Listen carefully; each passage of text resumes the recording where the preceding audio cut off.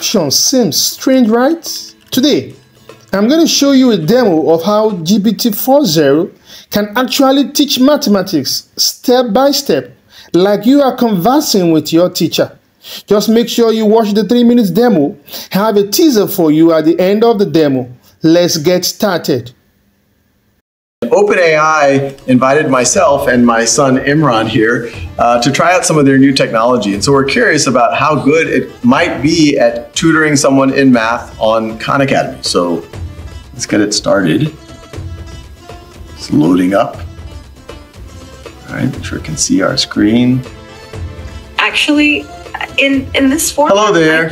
I'm here with my son, and I'd love you to tutor him on this math problem but don't give him the answer. You can ask questions and nudge him in the right direction, but I really want to make sure he understands it himself. And he's here in the room, so you can talk to him directly. Of course, I'd be happy to help. Let's look at the problem together. Can you first identify which sides of the triangle are the opposite, adjacent, and hypotenuse relative to angle alpha? All right, so I'm pretty sure this is the angle alpha right here, right? Perfect. That's correct. Now, looking at the triangle, which side do you think is the hypotenuse? Um. Remember really, the hypotenuse? I'm not totally sure. I think, I think it might be this one, but I really am not sure. This side AC. You're close. Actually, side AC is called the adjacent side to the angle alpha. The hypotenuse is the longest side of a right triangle and is directly opposite the right angle. Can you find uh, which one is the hypotenuse? Oh, okay, I see. So um, I think the hypotenuse is this really long side from A to B. Would that be correct? Exactly. Well done. Now that you've identified the hypotenuse, can you identify which side is the opposite side to angle alpha?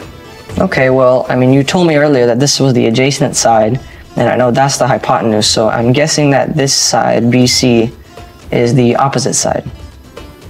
Great deduction. That's absolutely correct. Now that you've identified all the sides relative to angle alpha, do you remember the formula for finding the sine of an angle in a right triangle? Yeah, I know that um, the sine is equal to the opposite over the hypotenuse. Perfect. That's absolutely right. Now, can you apply that formula to find sine alpha in the triangle using the lengths of the sides that we've identified? Okay, so I mean, you told me that 7, this side BC, is the opposite side. And then you said that the hypotenuse is the longest side, so that would be this side AB, which is 25. So would we would the answer be 7 over 25? Excellent work. That's correct. Sine alpha equals 7 over 25. You did a great job identifying the sides and using the sine formula. If you have any more questions, feel free to ask. Now the teaser. Do you think teachers' job are at risk? If you believe or otherwise, if you believe same or otherwise, just comment on the video and don't forget to subscribe if you have not done so. See you in the next video. I'll be watching out for you.